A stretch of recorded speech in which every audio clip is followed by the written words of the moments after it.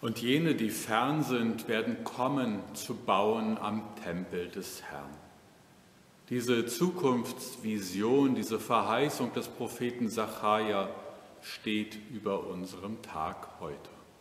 Der Tempel des Herrn. Unsere Kirchen sind uns wichtige Orte. Die Kirchtürme von weitem zu sehen, das Innere hell und weit, für viele von uns vertraut, vertraut von schönen und auch traurigen Festen. Orte der Geborgenheit sind sie uns, Zeichen der Gegenwart Gottes in dieser Welt. Darum brauchen wir die Kirchen, darum läuten die Glocken, darum sind die Türme so weithin sichtbar. Wir brauchen es, Zeichen zu haben, dass Gott da ist. Der Tempel in Jerusalem genau diese Bedeutung. Er ist der Ort, an dem sich die Menschen sicher sein konnten, Gott ist da. Unsere Kirchen sind uns so wichtig, aber im Moment können wir sie kaum nutzen. Wir bauen unsere Kirchen aus Steinen, aber Gott baut seine Kirche aus den Menschen.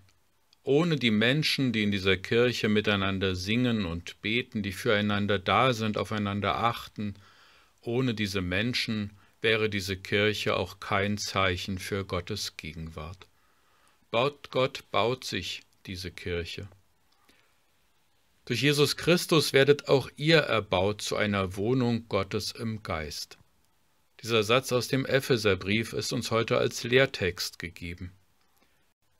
Die Kirche, ein äußeres Zeichen, wenn sie aus Steinen gebaut ist, ein lebendiges Zeichen, wenn sie aus Menschen gebaut sind.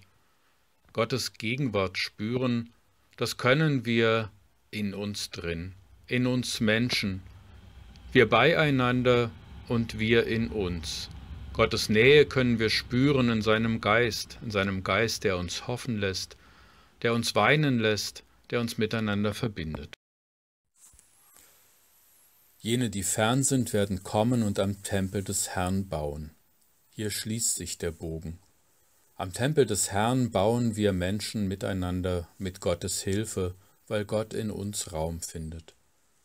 Und so werden wir für die Menschen in der Nähe und in der Ferne selber zu Zeichen Gottes, wenn wir aus Liebe heraus handeln. Und andere Menschen in der Nähe und in der Ferne werden für uns zu Zeuginnen und Zeugen der Liebe Gottes. Atme in uns, Heiliger Geist, brenne in uns, Heiliger Geist, wirke in uns, Heiliger Geist, Atem Gottes, komm, komm, du Geist, durchdringe uns, komm, du Geist, kehr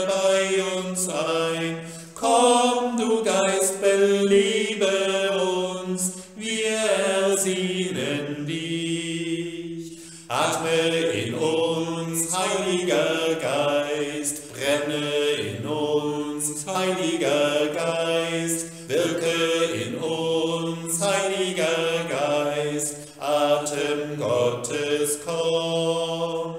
Komm, du Geist der Heiligkeit, komm, du Geist der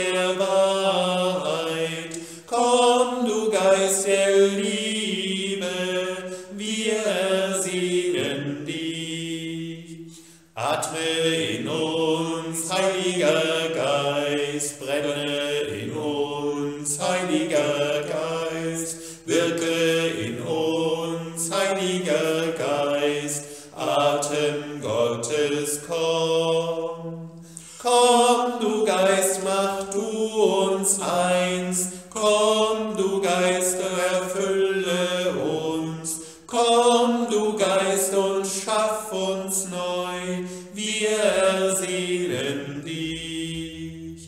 Atme in uns, Heiliger Geist, brenne in uns, Heiliger Geist, wirke in uns, Heiliger Geist.